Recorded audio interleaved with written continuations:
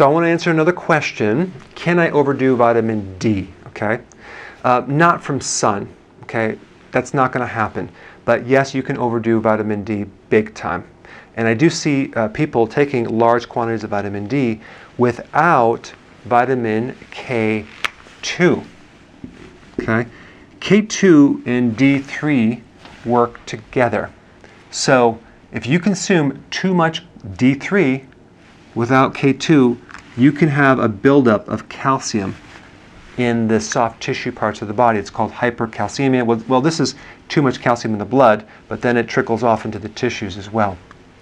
And the symptoms for hypercalcemia is vomiting, weakness, kidney stones, frequent urination, excessive thirst, abdominal pain, depression, and heart arrhythmias. Okay?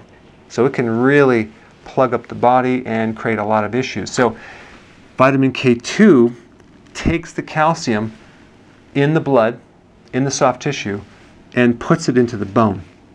Okay, so it puts it into the bone, and this is my bone right there. Doesn't really look like a bone there.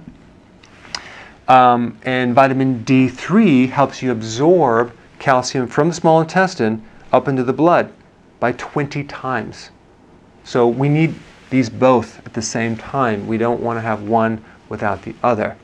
Um, now, the other thing is if a person is taking large amounts of D3 with calcium, that's even worse because you're just dumping even more calcium into the blood without this. Okay, that would be bad.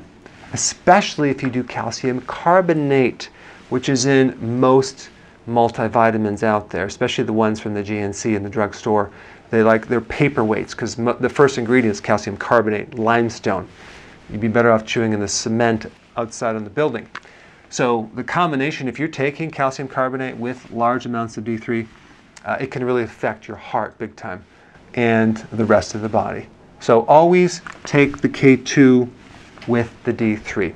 All right, thanks for watching. Hey guys, a lot of you already have my book, some of you don't, but this new edition called the New Body Type Guide is an upgrade from my last edition called the Seven Principles of Fat Burning. It has 156 images, 378 pages, full glossary. I talk about keto, intermittent fasting, the body types in detail. I have a new stress chapter. I'm going to show you exactly what to eat and a comprehensive FAQ. I put a link down below. Check it out.